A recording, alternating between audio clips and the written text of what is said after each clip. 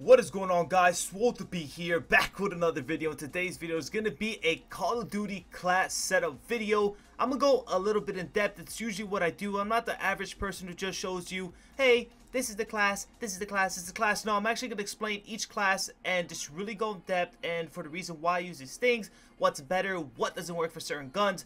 So we're going to start here with the VMP. Now, you can see I do have four VMP classes. I am a pretty much a sub player, a not a main sub because John is kind of has a role, but I'm like the second sub, so having subs is like a must. So right here, I'm going to use the basic quick draw, grip, and stock. Stock is almost a necessity at this point on the VMP. I talked about this in a like a couple videos ago, saying, you know, the stock like the VMP strafe is so slow because they nerfed it. So now stock on the VMP is pretty much a must. If you do not run stock and another player has stock, he will outgun you most of the time because he can strafe for you and make you miss a lot of bullets. So I do have stock here and quick draw grip, obvious things. So stock you pretty much want on your sub all the time. You can see all my subs have stock. So then I have a frag and trophy. Now trophies I feel like are really, really underrated in this game. I feel like some players don't even run them and I don't understand why. Trophies are so, so good. Helps you get points. It helps out your team. And then a frag, of course, you know, they could be running trophies. They could be running flak jackets. But there are times where they won't be running those things and a frag can get you an entry kill. It can block their path. So it can be really helpful. And then the basic perks, which you're going to be seeing in most of my classes, Afterburner, Fast Hands, and Blast Suppressor. Now for the second class, I have a double EMP. Same class, just instead two EMPs. EMPs are so good in this game. If you guys do not know what an EMP does, obviously if you if you have score streaks, it's not allowed to use them for a certain amount of time. If you have a specialist, it will disable it or not allowed to use it for a certain amount of time.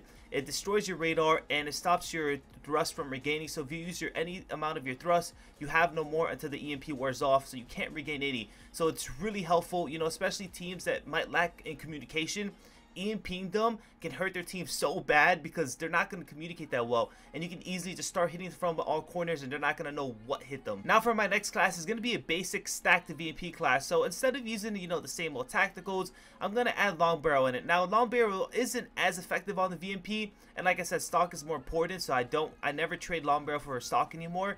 But long barrel does help sometimes. It does help you maybe if you're struggling, and especially online, like there might be certain hosts that you can't kill, you're having trouble slaying, you're having trouble getting kills, and, and on top of that, maybe all tacticals are bans, maybe only EMPs are allowed, so then you can sort of pull this class out.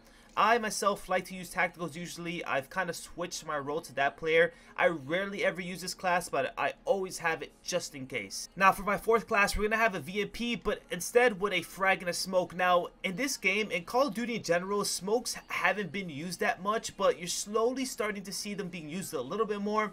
I'm starting to use them a little bit more, and they can be very, very, very effective, especially on certain hills, on certain maps that a smoke could, you know, either let's say you have control of a hill and they're rushing you, you could block the path so they have to run through the smoke blindly, you get a couple easy kills, or let's say you need to push a certain hill and there's a AR or a certain position that that they're holding a very power, powerful spot, you can smoke it out and it leaves the guy useless.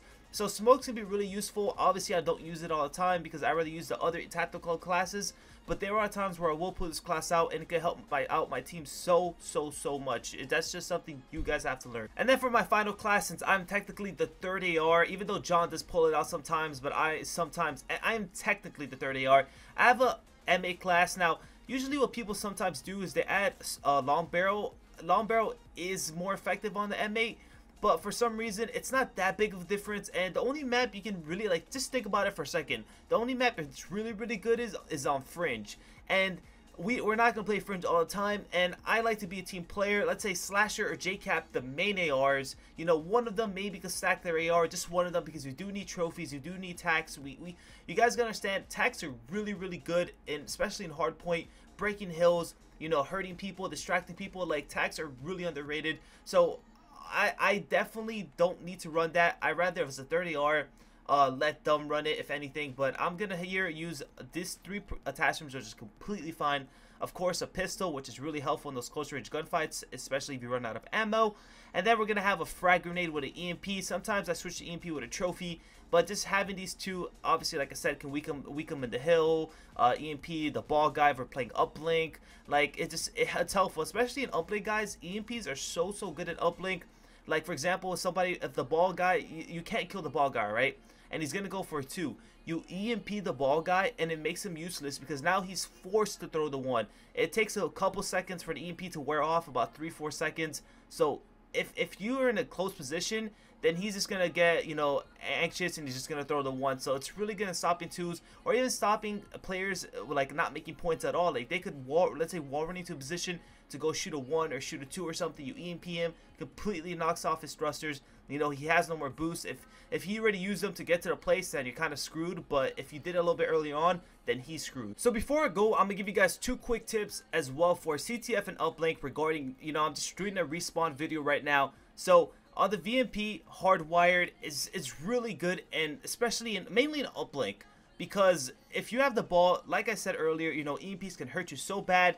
If you have a specialist like Camo, Kinetic, specialists that require you to use it right there, or like if that you can use while holding the ball, or to push something really aggressive, hardwired will completely you know stop the EMPs, so allows you to do whatever you want. So hardwired, you know, could be a good change. Like and in, in uplink, you don't necessarily have to run tax because it's a faster paced game and it's like like you have to break the hill. Like your teammates you can kind of like spread out the love you know spread out the love and attacks. So hard you can run hard wire. Sometimes don't get greedy as well. Try to run you know attacks for your team. But you can run hard wire sometimes in replace of maybe a fourth attachment or for EMP Semtex whatever the case is. I definitely like hardwired. And then for CTF, a little trick I do, and I think it will help you guys out a lot. I think it's a very helpful thing is don't do this all the time, and it also depends on a map. I usually do this on Breach and Evac, mainly on Evac. I would actually run Dead Silence. Now, for the people who watch my stream or just watching me in general, you might see me do this sometimes. And the reason why is because Dead Silence obviously is really good in this game. Like, you could barely hear it. The only noise you usually make is very little, is when you wall run, but it's very, very little. And if you like, like, I don't understand, like if you fall down, you do like a little thump, and then people could hear that. But other than that, Dead Silence is really, really good. It's really effective. Obviously, you can't really hear your footsteps. And you can hear people's footsteps. They aren't the loudest. Like, not running Dead Silence isn't the craziest thing. But a map like Evac, where it's very close range, you know, as a sub, you're always pushing through those little cracks. You're always like maybe wall running, trying to be sneaky. It allows you to hear them, so it's a very good class. I would highly recommend this class. Like I said, don't use it all the time though. And the only map I would really recommend it on is Evac. Sometimes I do it on Breach. But a map like Fringe and Stronghold, it's, it's it depends, you know, the situation. Fringe for sure, I, I rarely ever run it, but it's just a good tip to give to you guys. Alright guys, I hope you enjoyed today's video. This has been a Respawn class in-depth video where I just went over everything, try to talk a little bit about CTF uplink as well. Even though some of the classes are pretty much generalized, they're all kind of the same, but I did give you guys a little bit extra tips and if you want to see an S&D one, make sure to leave a like and subscribe if you want, and leave in the comments below as well. And I could definitely do an S&D one. S&D one is going to be a little bit more different, but I wouldn't mind at all. This has been Swolter P. Hope you all have a good day, and I'm out. Peace. Whoa, stop right there. Make sure to check out my previous video before you go. I guarantee you're going to like the way you look. Wait, what?